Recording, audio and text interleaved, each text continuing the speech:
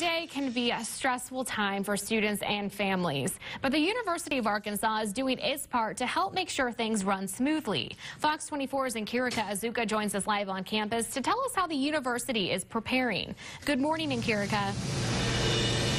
Good morning, Caitlin. So University Housing has hosted several online live tours to help make moving day a little easier. Now, this is the third year this online platform has been used, and university officials say that there has been great feedback. Now, the tours are hosted on Facebook Live and allow parents and students to get the information they need about the campus, even if they can't be there in person.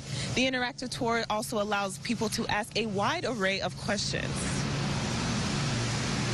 Um, you know, I get down there, I measure like the floor, the ceiling, the beds, anything they need me to measure, I'm happy to measure.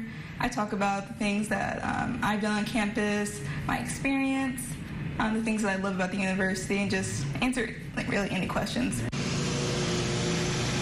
Now you can find a link to this tour on our website later this morning. And as for moving, students will start coming back to campus in about a week. In Fayetteville, Nkiruka Azuka, Fox 24 News. Okay, Nkiruka, thanks.